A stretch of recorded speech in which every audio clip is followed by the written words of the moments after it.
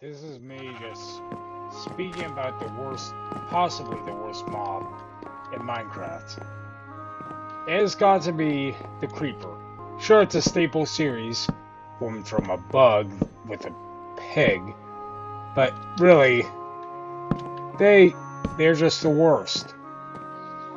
They blow up structures, they blow up holes in your ground, and they just serve no purpose other than to be a nuisance or just to get gunpowder.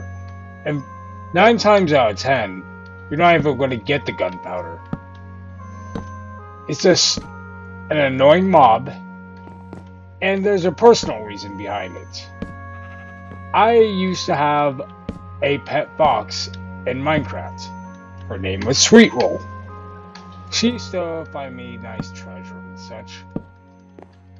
And one morning when I slept, she was outside, and a creeper decides to just come up to me, blow me up. I survived, but Sweet Roll did not.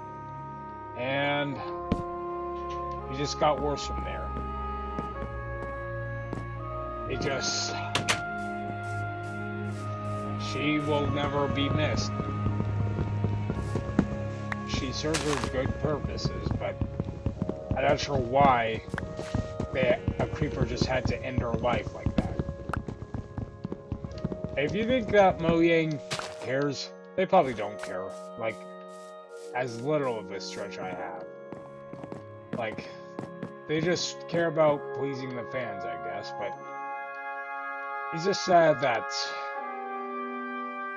creepers can just end any of your pets without notice. And they literally they don't care. They have like a hive mind mentality, I don't know.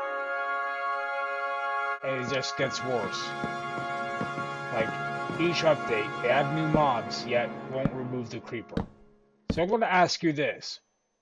Would you stand up for Sweet Roll? Would you sacrifice your life for her? Leave your comments down below if you would.